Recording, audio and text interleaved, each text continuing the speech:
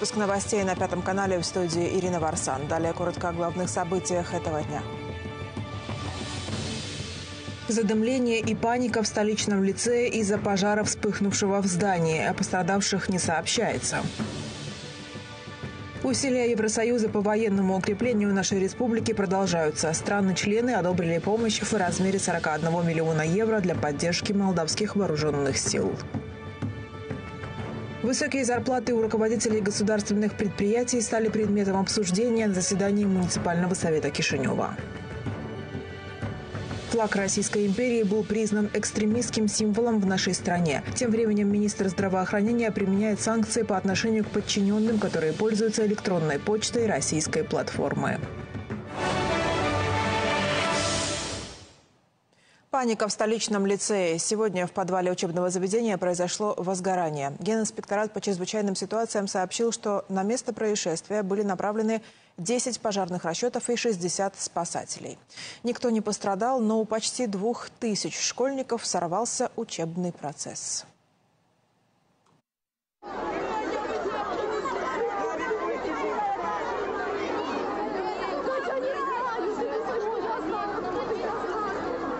Пятницу днем в лицее Ливии Утиляну в секторе Баюканы вспыхнул пожар. В социальных сетях появились видеокадры, на которых видно, как испуганные ученики покидают здание. По данным Генерального инспектората по чрезвычайным ситуациям, огонь охватил подвал учебного заведения. В ликвидации возгорания участвовали 10 пожарных расчетов.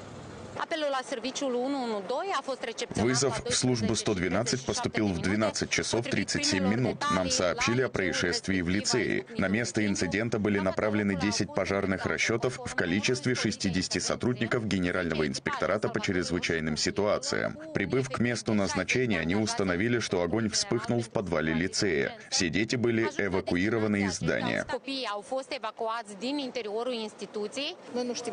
Мы не знаем, что произошло. Мы эвакуировали детей и все. Мы остаемся на улице, не зная подробностей. Там, где мой кабинет, все было в порядке. Мы быстро и благополучно эвакуировались, и только на первом этаже, когда мы уже спустились, было задымление.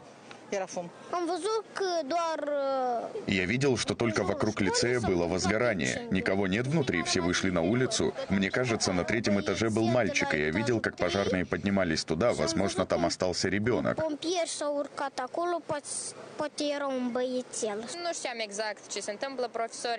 Я точно не знала, что происходит. Учителя сказали, чтобы все вышли из класса. Соответственно, учителя покинули помещение последними, чтобы убедиться, что все вышли. Мы видели дым, потом приехали пожарные, полиция, скорая помощь. На место происшествия приехал и глава городского управления образования Андрей Повалой. По его словам, пока неизвестно, как будет работать лицей дальше. Будет ли учреждение продолжать работать? Посмотрим, что скажут пожарные. Я не знаю, что вам ответить. Когда пожарные локализуют возгорание и оценят состояние подвального помещения, они, возможно, дадут нам какие-то рекомендации. Повалой также сообщил нашему телеканалу, что директору лицея оказали медицинскую помощь. Сама она отказалась с нами беседовать. Причину, обстоятельства и материальный ущерб еще предстоит установить. Сегодня должно было состояться первое заседание суда по иску вдовы сотрудника службы безопасности Кишиневского аэропорта, застреленного в прошлом году гражданином Таджикистана, которому был запрещен въезд в Молдову. В связи с необходимостью изучения представленных суду дополнительных материалов заседание было перенесено на конец месяца. На 5 апреля было назначено первое судебное заседание по делу сотрудника службы безопасности Игоря Чофу, застреленного в Кишиневской аэрогавани в конце июня прошлого года гражданином Таджикистана, которому был запрещен въезд на территорию Республики Молдова. Вдова Диана Чофу, воспитывающая троих детей, обратилась в суд с иском против международного аэропорта Кишинева о возмещении ущерба по потере кормильца в размере 7 миллионов 200 тысяч леев и выплате моральной компенсации компенсации в 400 тысяч леев. Ее адвокат Даниэла Мырза объяснила, почему затребована именно эта сумма. Принимая во внимание, что законодательство Республики Молдова предусматривает ответственность работодателя в случае происшествия на рабочем месте, мы составили соответствующий иск. Относительно суммы. Она была рассчитана с учетом представленных материалов. Основанием послужила справка о заработной плате, а также информация, предоставленная ответчикам. Были приложены и дополнительные приказы о премировании господина Чофу.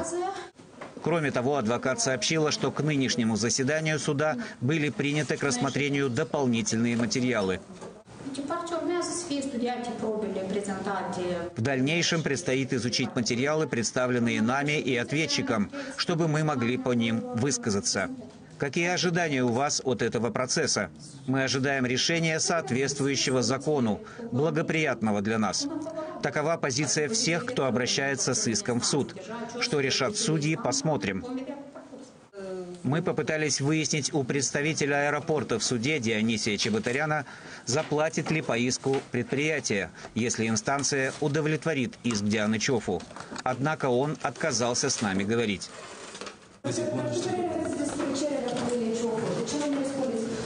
Следующее заседание назначено на 30 апреля. Напомним, после вооруженного инцидента в аэропорту Генеральная прокуратура возбудила уголовное дело в отношении бывшего главы пограничной полиции Россиана Василоя, обвиняемого в служебной халатности. Если его вина будет доказана, ему грозит от двух до шести лет лишения свободы. Сам Василой заявляет о своей невиновности.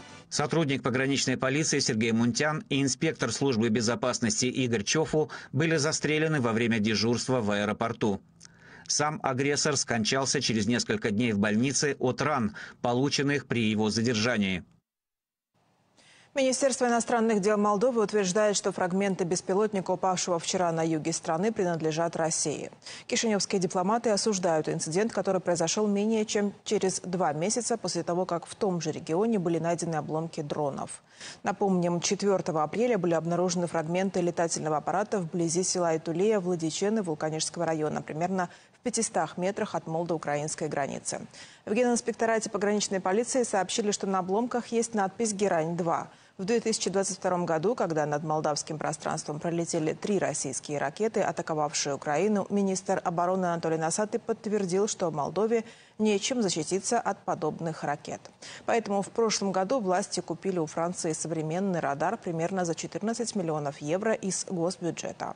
Тем не менее, он не смог обнаружить фрагменты беспилотника «Шахет», упавшего в Вулканештах. Власти заявили, что устройство видит только объекты, летящие на высоте до 2000 метров. В марте глава Минобороны сказал, что Молдова приобретет второй радар, также у Франции, за 20 миллионов евро, которые выделит Европейский Союз.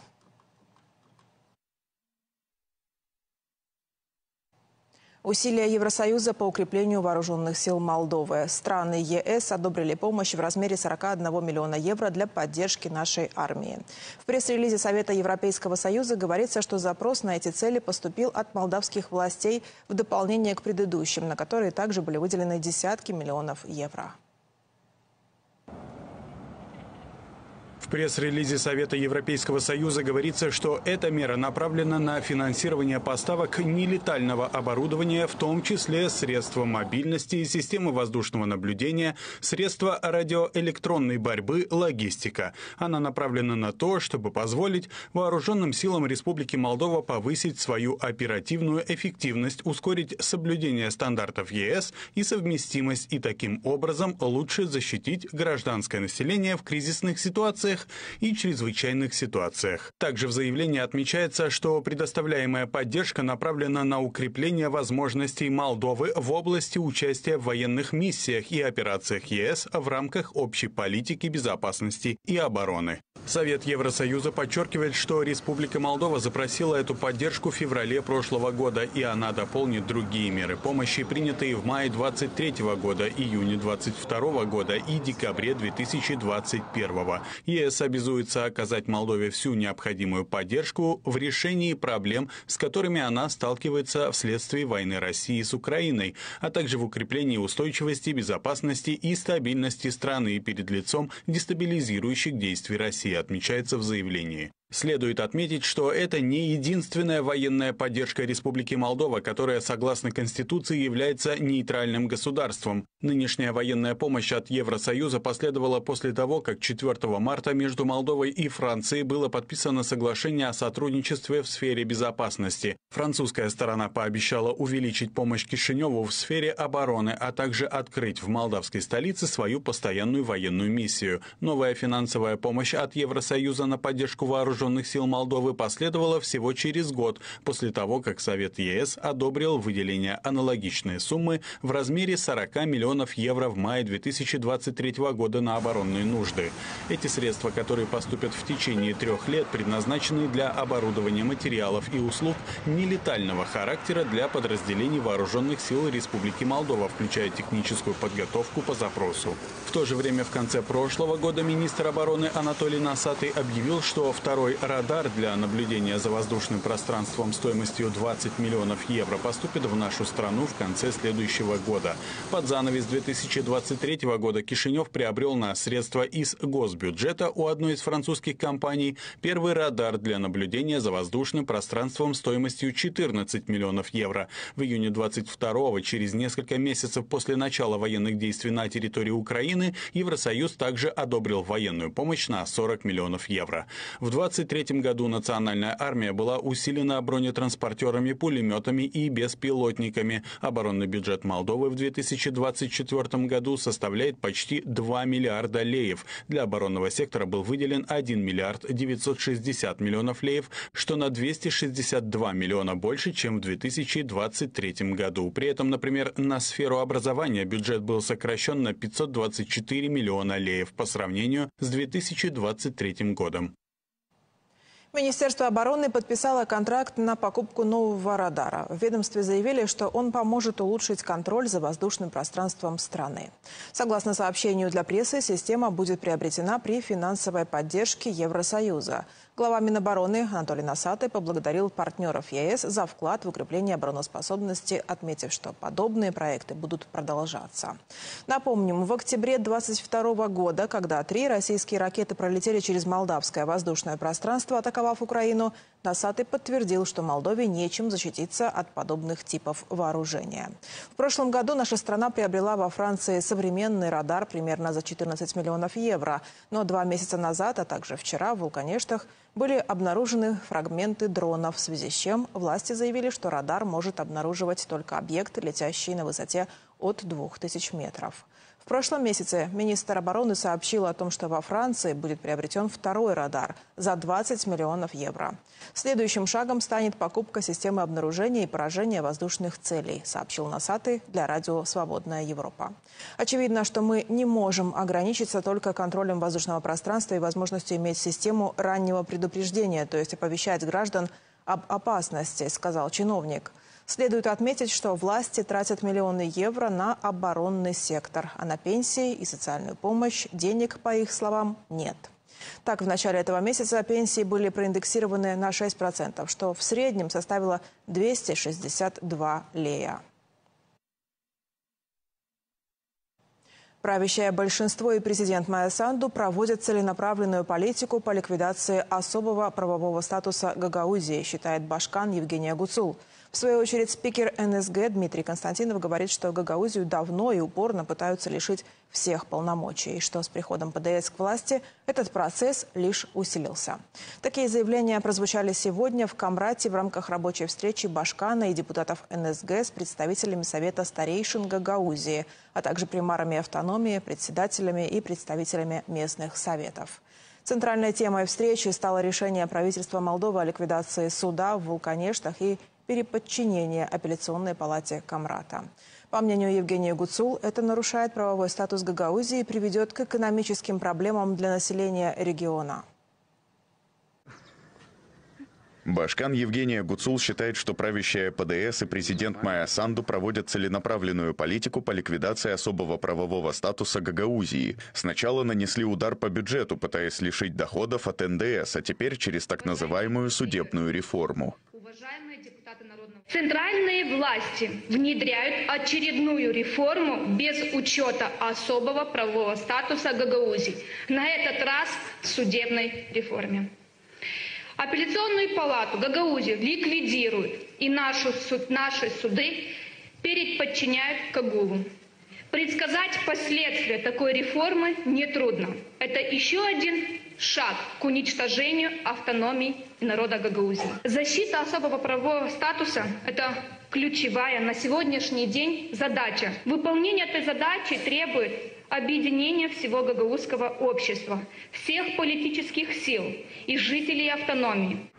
По мнению Гуцул, из подчинения Гагаузии уже вывели правоохранительные органы и налоговую службу. Башкан напомнила руководству страны, что в этом году исполняется 30 лет со дня образования автономии. Тогда лидеры двух народов ушли от конфронтации и смогли найти мирное решение. В свою очередь, глава Народного собрания автономии Дмитрий Константинов считает, что Гагаузию давно и упорно пытаются лишить всех полномочий, что с приходом ПДС к власти этот процесс только усилился.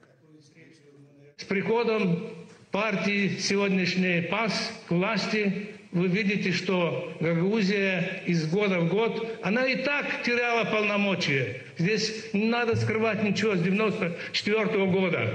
Но эти годы ускоренными методами, прямо планово все поставлено. Кодекс о выборах.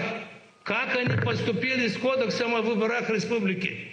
Вроде бы договаривались одно, когда приняли в парламенте решение, цикла Гагаузии нету. Просто издеваются над Гагаузией. Просто никто никого не слушает.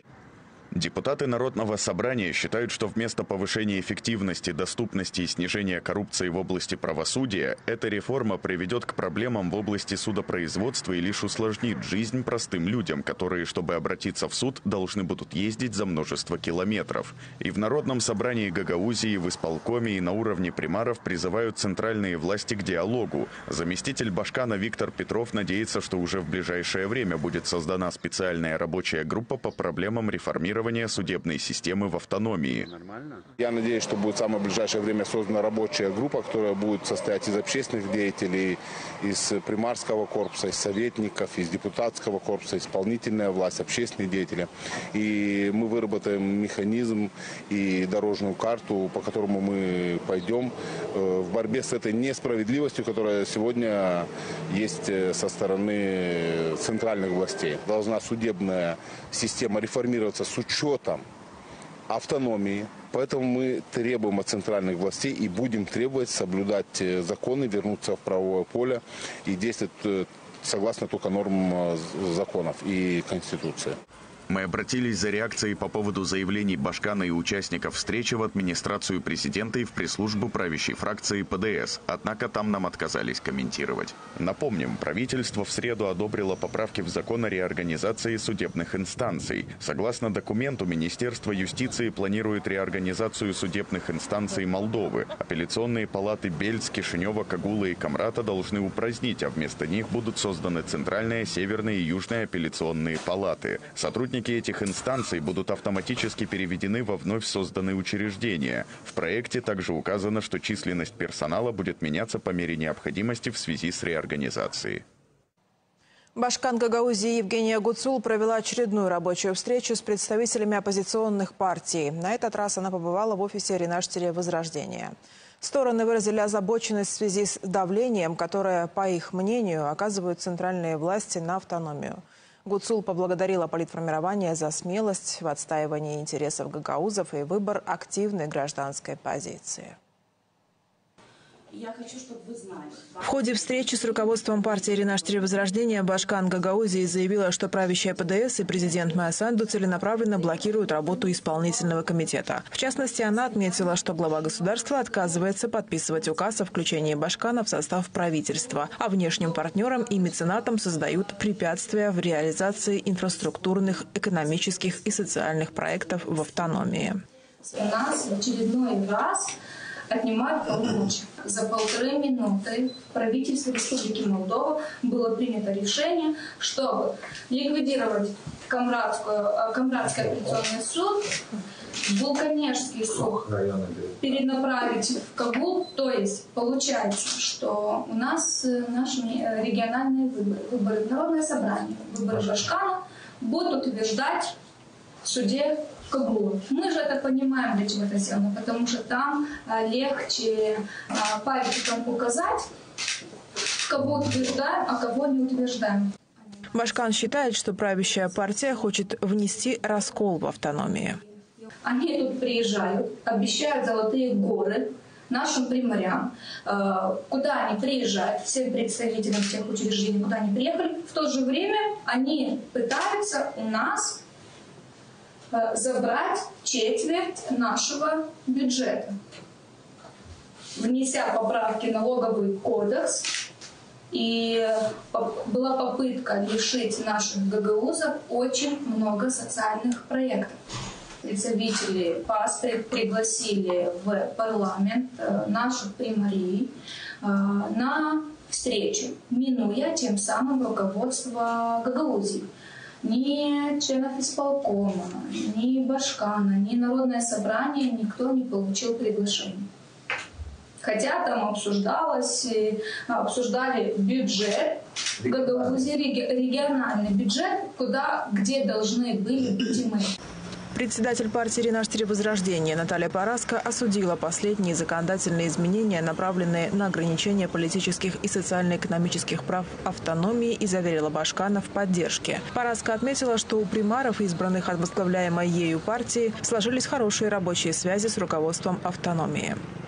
Партия Возрождения была рядом с, с когда ПАС и Санту внесли изменения в налоговый кодекс и фактически украли у жителей автономии четверть гагаузского бюджета. Партия Возрождения, коллеги в Гагаузии поддерживают вас и жителей автономии.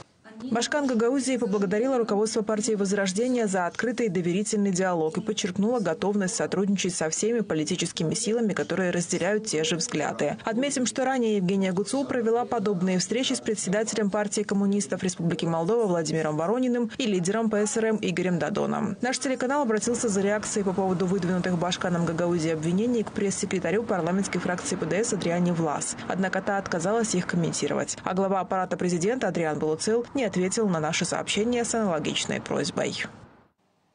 Аэропорт – весьма красивая мыльная опера, и каждая приходящая власть хочет взять его под свой контроль. Об этом заявил бывший председатель Конституционного суда Александр Тенаси в передаче на телеканале Н4, говоря о тендере на аренду коммерческих площадей в Кишиневской аэрогавани. По словам Тенаси, власти заинтересованы в Кишиневском аэропорту, потому что там можно делать деньги. Кто-то из руководящих лиц говорил, что беспошлинная торговля в аэропорту приносит около 800 миллионов леев прибыли, и в этом смысле эти деньги нужно отдать другим. В других странах иной подход. К бизнесу относится как к источнику накопления налогов, и это заботливое отношение. Здесь же все обстоит иначе. У нас наблюдается провинциализм, идущий от бедности и отсутствия отсутствия экономики. Александр Тенаси также затронул тему скандального аэропортовского сбора в 9 евро, который взимался с каждого авиабилета. Сначала он был уменьшен вдвое, а затем отменен властями. Жители Молдовы живут в бедности не из-за сборов 9 евро. Сегодня один билет стоит 300-400 евро. И эти 9 евро ничего не решают. Проблема не в этом. Но это цифра, которая легко воспринимается людьми. Каждый день людям говорят, что кто-то в аэропорту зарабатывает миллиарды. И люди думают, что именно поэтому они живут плохо. Кто-то зарабатывает, но если вы, как Министерство финансов, знаете, что там заработано 800 миллионов леев, вы должны еще сказать, что часть этих денег вы собираете собираете в виде налога на добавленную стоимость и так далее. Это деньги, которые поступают в государственный бюджет. Это не деньги, которые кто-то забирает. Это деньги, которые и вам приносят доход. Напомним, что Кишиневский международный аэропорт проводит тендер на аренду коммерческих площадей. Единственной компанией и участником конкурса является французская компания «Лагардер», зарегистрированная в Кишиневе по адресу общежития на Буюканах. После этого появилась информация, что тендер был сфальсифицирован, а руководить процессом якобы будет министр инфраструктуры Андрей Спыну. Сам Спыну отверг обвинения. Между тем, срок подачи заявок на участие в тендере продлен до 15 апреля 2024 года. Компания «Лагардер», которая участвует в тендере по аренде коммерческих площадей в Кишиневском аэропорту, может быть единственным кандидатом в конкурсе, предупреждает председатель партии развития и консолидации Молдовы. Ион Кику заявил об этом в контексте изменения пункта в решении правительства в положении о порядке сдачи в аренду неиспользуемого имущества.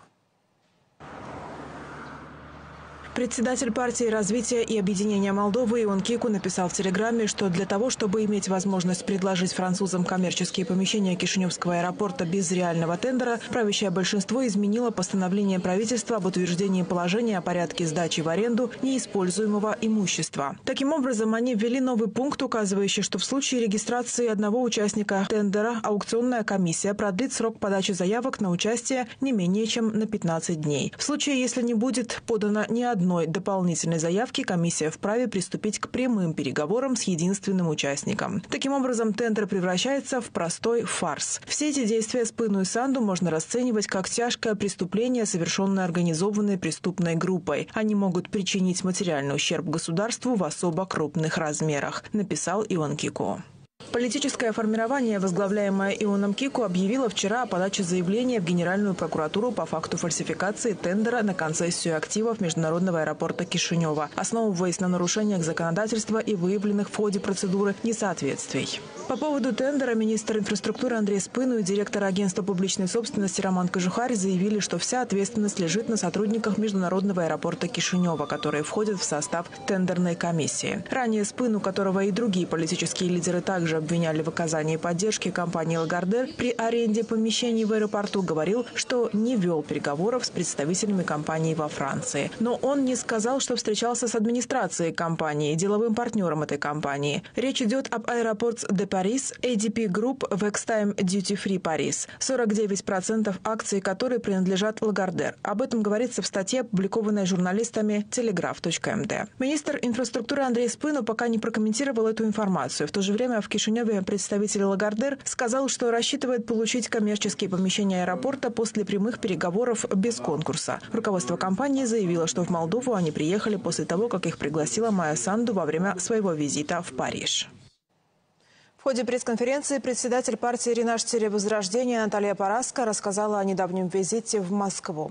Лидер политформирования вместе с членами ее команды подчеркнула важность диалога и сотрудничества в контексте ухудшения взаимоотношений между Молдовой и Россией на официальном уровне, высказав свою позицию по санкциям и политическим решениям молдавских властей. На прошлой неделе я и мои коллеги находились в Москве, где у нас состоялись встречи в Государственной Думе, Совете Федерации с руководителем Россельхознадзор. Мы также активно участвовали в работе Международного экономического форума СНГ. В одностороннем порядке молдавские власти поддержали антироссийские санкции, сворачивали экономическое сотрудничество, отказывались от прямых авиарейсов в Россию, покупали и покупают более дорогой газ, лишь бы не закупать его у «Газпрома», разрывали договора, заключенные в рамках СНГ. Председатель партии заявила, что выступает за подход, основанный на диалоге и сотрудничестве между Молдовой и Россией. По ее словам, противоборство не служит национальным интересам Молдовы и не несет в себе решение внутренних проблем. В официальном пресс-релизе политформирования по итогам визита в Москву партия «Ренаш Возрождения» подчеркивает, что активно выступает за сохранение и расширение тесных связей, существовавших между Молдовой и Россией, а также другими странами СНГ. Представители партии отметили, что вопреки нынешним напряженным отношениям и усилиям официального Кишинева по дистанцированию нашей страны от России, они увидели в Московском международном экономическом форуме особую возможность для укрепления связей и конструктивного диалога с партнерами. Партия получила возможность объединить усилия и наладить контакты с коллегами из России и другими восточными партнерами Молдовы, говорится в пресс-релизе политформирования. Вот этих вот э, встреч, э, обсуждений а, В этом месяце Молдова-Газ закупит у Энергокома 30 миллионов кубометров газа по цене 450 евро за тысячу кубометров. В эту сумму входит сжиженный природный газ, приобретенный у американцев, который, как признали официальные лица из энергетической сферы, дороже, чем у «Газпрома», а также голубое топливо, закупленное прошлой зимой министром Спыну за счет кредитов 300 миллионов евро, предоставленного Европейским банком по реконструкции и развитию. С начала текущего года и до сих пор по распоряжению комиссии по чрезвычайным ситуациям Энергоком продавал Молдовагаз голубое топливо по 550 евро за тысячу кубометров. При этом «Газпром» в апреле продает Молдовагаз топливо по 327 долларов за тот же объем.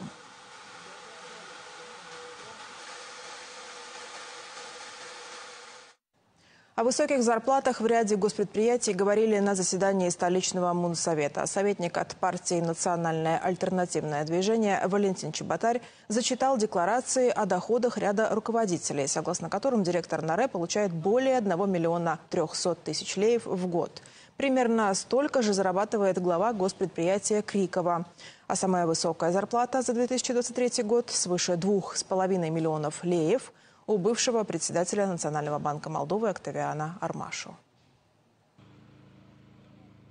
Валентин Чеботарь заявил, что в условиях, когда сотни тысяч пенсионеров живут на суммы ниже прожиточного минимума, некоторые государственные служащие получают из бюджета страны огромные зарплаты.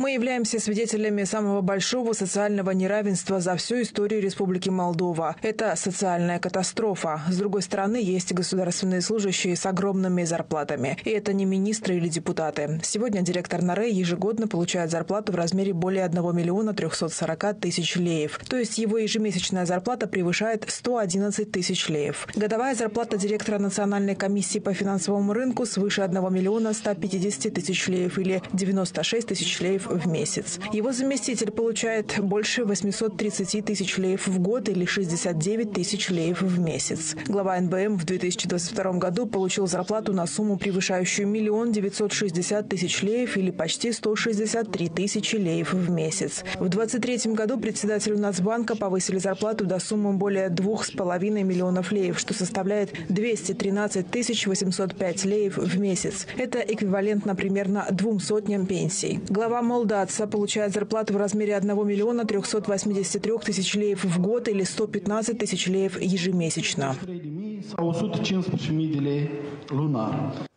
По словам местного избранника, высокие зарплаты и у представителей других госструктур. Валентин Чубатарь утверждает, что член наблюдательного совета «Молдова-ГАЗ» получает ежегодное вознаграждение в размере 1 миллиона 766 тысяч леев. Ежемесячная зарплата руководителя компании радиокоммуникации более 52 тысяч леев. Глава госпредприятия Крикова зарабатывает 1 миллион 317 тысяч или 109 тысяч леев в месяц. Член наблюдательного совета Нацбанка получает в месяц почти 97 тысяч тысяч леев, а зарплата директора государственной дорожной администрации составляет 60 тысяч леев. Советник сравнил представленные цифры с зарплатами и пенсиями, которые получают рядовые граждане. У директора школы со стажем более 30 лет есть такая зарплата или нет? Конечно, нет. Зарплата около 15 тысяч леев. Пенсии проиндексировали на 6%. В прошлом году вместо 30%, согласно уровню инфляции, проиндексировали всего на 15%, потому что у нас нет денег. Отметим, что с 1 апреля средняя пенсия увеличилась на 262 лея. Сумма повышения состоит из уровня индексации пенсий на 6% и корректировки величины пенсий в соответствии с экономическим ростом. Экономист Вячеслав Ионицы ранее заявлял, что если уровень индексации пенсии будет ниже, чем рост зарплаты, то с повышением пенсионного возраста суммы, которые получают пенсионеры, будут сокращаться. Чтобы не допустить такого несоответствия, необходимо повысить пенсии на 40% от средней зарплаты в экономике. Представители правящей власти сказали, что в бюджете нет средств на более высокую индексацию. Бывший премьер Ион Кику, комментируя это решение, заявил, что в Молдове впервые за последние 15 лет пенсии были проиндексированы ниже уровня инфляции, в то время как зарплаты министров в 2023 году были увеличены дважды, достигнув 50 тысяч леев. Необходимость повышения зарплат министрам и сотрудникам министерств правительстве объяснили массовыми увольнениями с государственных должностей, а также тем, что зарплаты министров относительно низкие. Сельхозпроизводители жалуются, что получение гуманитарной солярки, предоставленной Румынии, проблематично. Аграрии со всей республики смогут забрать топливо только из Каушан. А за его транспортировку до конечного пункта придется выложить определенную или немалую сумму из собственного кармана.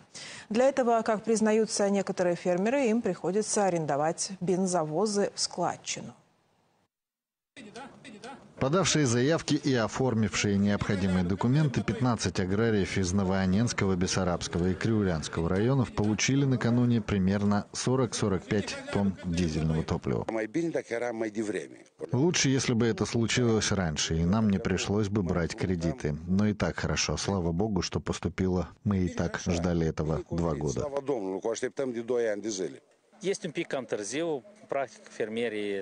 Поздно. Фермеры уже давно работают на полях. Многие закупали солярку, когда не было ясности с ее получением, но все равно это намного лучше по сравнению со срочными кредитами, которые практически не работают.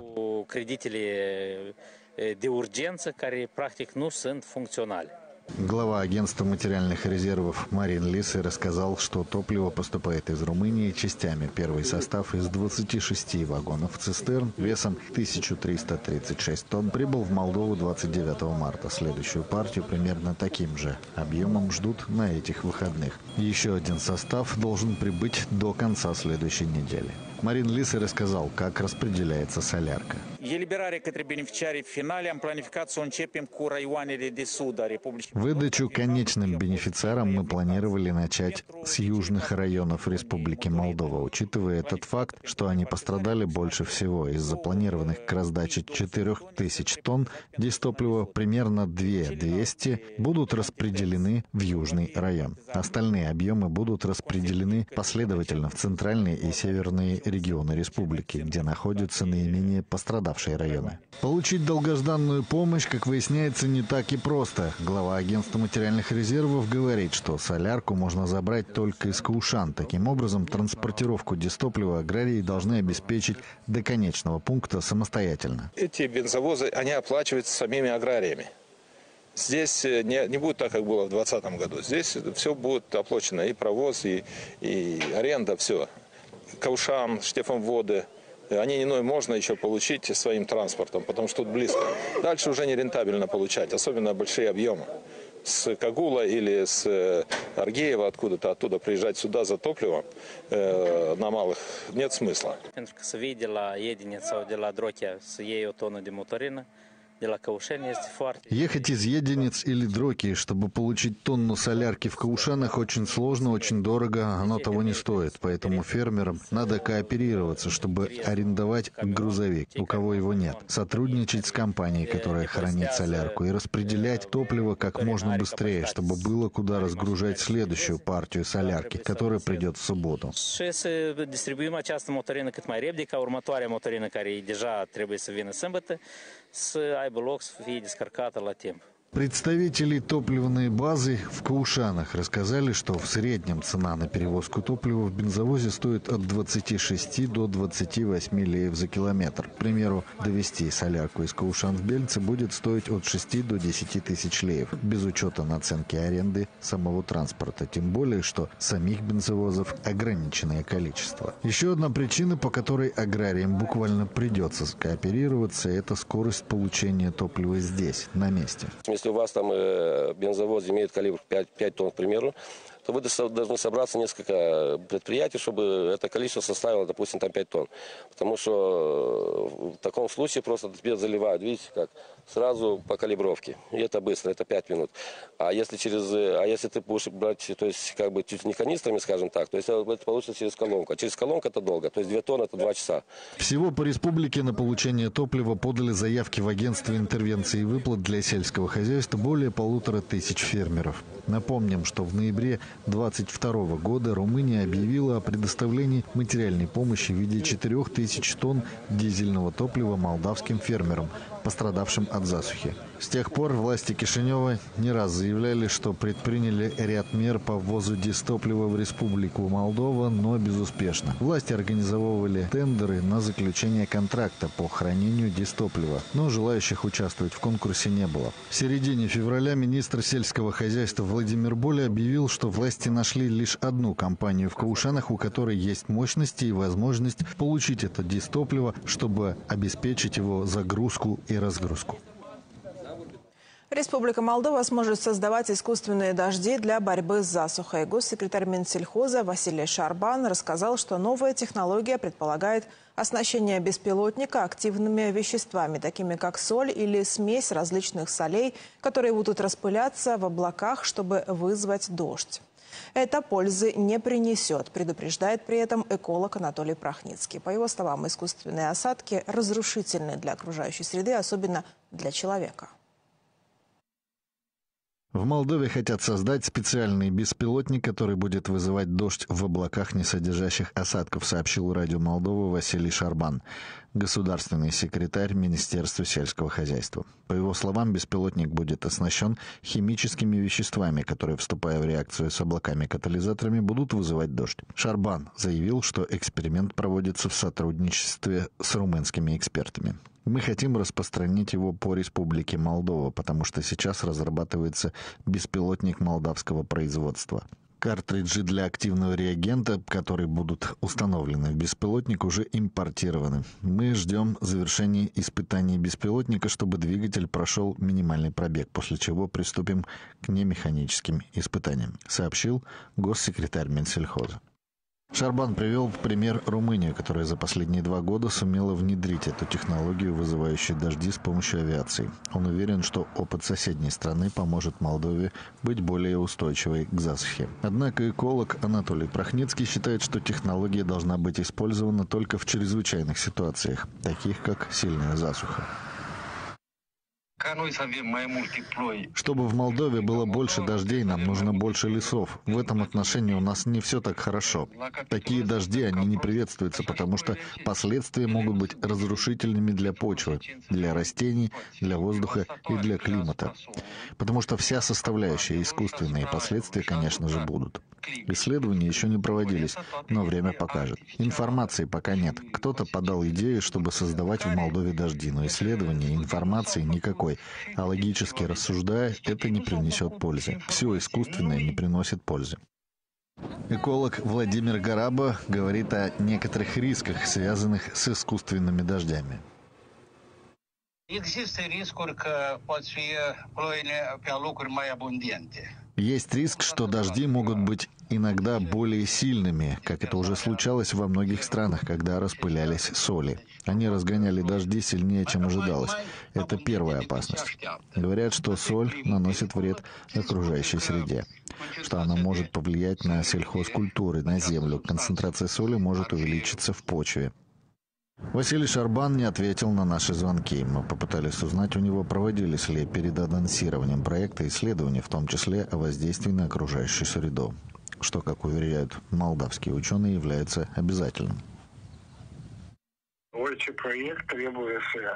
Любой проект должен проходить экологическую экспертизу. Очевидно, что представленная информация имеет долю популизма. Я лично не видел этого документа, поэтому ничего не могу сказать. Еще раз повторю, что этот документ об оценке воздействия должен быть изучен и обсужден. Искусственный дождь стал обычной практикой в нескольких странах, включая США, Китай и Индию, используется для различных целей, в том числе для борьбы с засухой.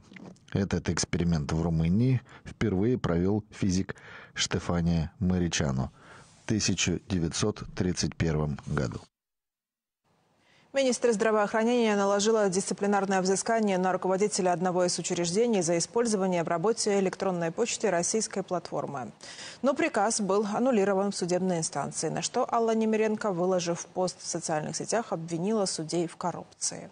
Я применила дисциплинарное взыскание в отношении главы стратегически важного для республики учреждения, которое сразу после начала войны отправляет информацию о запасах страны в определенном районе не с официальной защищенной электронной почтой учреждения, а с Mail.ru. И суд отменяет приказ о взыскании. Неудивительно, в юстиции, как и в медицине, есть разные профессионалы, заслуженные люди – и другие, дружащие с коррупцией и ценностями в желудке. Радует, что многие относятся к первой категории, написала Алла Немеренко, в чьи обязанности входит управление системой здравоохранения и у которой так много нерешенных проблем.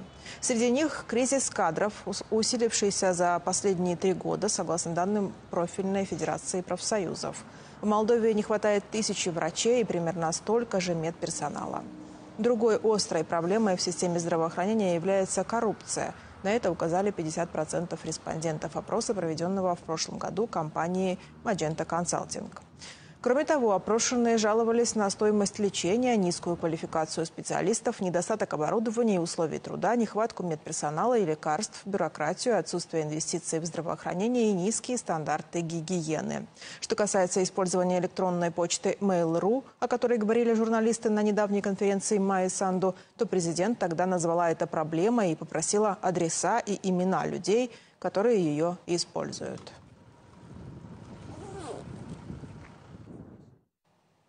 Они не жалуются на судьбу, но им тоже хотелось бы чувствовать, что живут в цивилизации, что у них есть магазин, медицинский пункт, почтовое отделение и рейсовый автобус для необходимых поездок. Об этом нам рассказали жители села Троица Львовского района. За хлебом им приходится ходить по несколько километров до соседнего населенного пункта. А чтобы добраться до районного врача, нужно брать такси. Старики сетуют, что село пустеет и боятся, что пороги опустевших домов уже никто не переступит. Жители села Троица, входящего в коммуну Вознесены Львовского района, рассказывают, что в их населенном пункте нет ни детского сада, ни школы, ни почтового отделения, где они могли бы получать пенсии и оплачивать коммунальные услуги. По этой причине им приходится ездить в соседнее село Хенесены или даже в райцентр, чтобы попасть к врачу. Или нам, не знаю, несмотря на то, что здесь остались одни пенсионеры, кто может, э, кто не может, уже видите, как магазин закрыли два раза в неделю приезжает магазин, и кто может подойти к этому магазину, кто не может. Очень тяжело, очень нам тяжело. Вот в Лево ездим заплатить за свет, за телефон. Кто может поехать, а кто не может. Мы ждем каждый, как почту ждем, так же самый этот пункт. Ну, надо один раз в месяц приходит это. Нам хоть бы какая-нибудь медсестра, чтобы написали за рецепты. Он так, что я знаю. Мне 81 год. Интересно, закрыли просто и все. Магазин закрыли, почту закрыли. Ничего у нас нет. И нечего говорить. 75-летняя бабушка Зоя рассказала нам, что молодежь уехала из села, остались только старики, которые справляются как могут. Из-за преклонного возраста и болезни они нуждаются в медицинской помощи, которой у них нет. Закрылись тем, чтобы врач семейный приходил раз в месяц сюда, на, в этот медпункт, он в прекрасном состоянии стоит закрытый.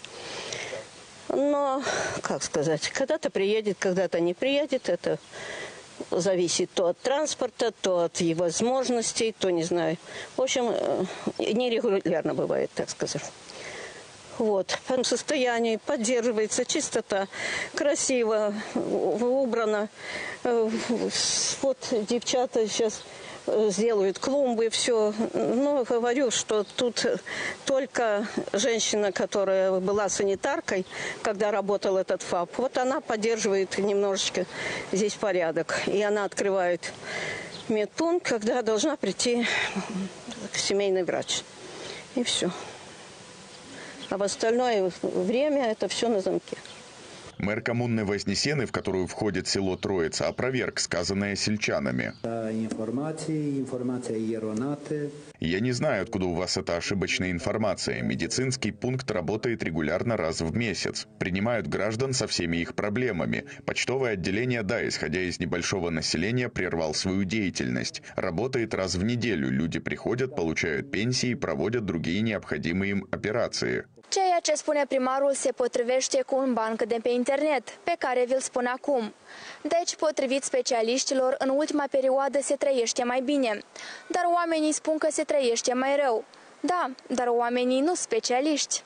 Так или иначе, жители Троицы остаются без помощи и лишь надеются, что каким-то чудом их село снова возродится, и тут будет жить больше людей. Однако подобное чудо маловероятно, учитывая, что исследования, проведенные экономистом Вячеславом Ионице, показывают, что молдаване продолжают видеть свое будущее за рубежом, в том числе из-за низких зарплат на родине. Согласно переписи 2004 года, в Троице проживало 367 жителей, сейчас там живут 164 человека. Флаг Российской империи объявлен экстремистским символом в нашей стране. Это решение принял суд Кишинева сектора «Центр», рассмотрев запрос Генеральной прокуратуры, Министерства юстиции и Службы информации и безопасности. В документе говорится, что российский имперский флаг, состоящий из горизонтальных белой, желтой и черной полос, является символом экстремизма. Решение еще можно обжаловать в апелляционной палате Кишинева в течение 30 дней. Согласно закону, принятому в 2003 году о противодействии экстремистской деятельности в Республике Молдова, запрещено выставлять на показ экстремистские символы, а по решению суда вышеупомянутый флаг был включен в этот список.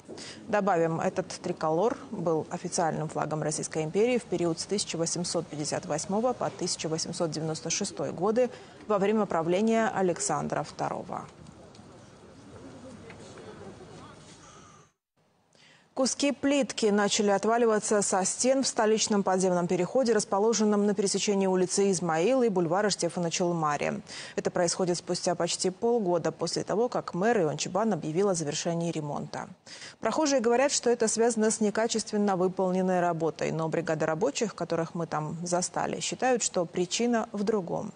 Глава пресс-службы столичной мэрии Василий Кирилеску сообщил нам, что экономический агент, ответственный за эти работы, все отремонтирует за свой счет. На этой неделе в социальных сетях появились кадры с упавшей плиткой. Сегодня бригада рабочих занялась ремонтом. Не spuneți не повестить, что faceți dumneavoastră acum. Расскажите, пожалуйста, чем вы сейчас занимаетесь? Я кладу плитку. Плитку, да? Да. А как проходит процесс? Что нужно сделать перед укладкой плитки? Все очищаю и кладу по новой. Мужчина рассказал нам, что одной из причин падения плитки стали образовавшиеся в стене трещины. А вот туда идет трещина. Если вы обратите внимание, то она поднимается сверху донизу и в другую сторону тоже. Однако прохожие считают, что причиной того, что плитка обваливается, стали некачественно проведенные ранее работы. Наверное, дело было в некачественных материалах, вот и все. Нехорошо, ведь все стоит денег. Работа наверняка была оплачена. К работникам, которые трудились, не знаю, наверное, нужно более серьезное отношение.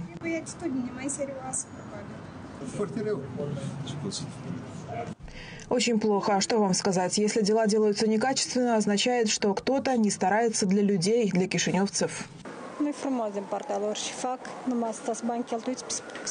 Некрасиво со стороны тех, кто это делал. Это выброшенные на ветер деньги. Работа сделана некачественно. Если упадет на ребенка, кто за это ответит? Никто не ответит, никто не следит за работой. Опять дополнительные расходы, но откуда, никто не знает. Пятый канал обратился к пресс-секретарю примарии Василию Кирилеску. Он сообщил нам, что все расходы по устранению проблемы возьмет на себя компания, проводившая ранее ремонтные работы.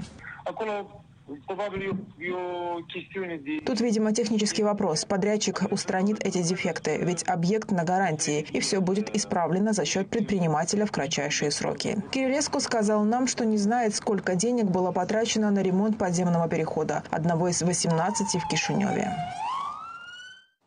На этом выпуск завершен. В студии была Ирина Варсан. Напоминаю, что следить в режиме онлайн за нами можно на официальном сайте канал5.мд в разделе «Лайв». Также ищите нас в Фейсбуке и Телеграме. Оставайтесь на Пятом канале. Добрых новостей и до встречи в эфире.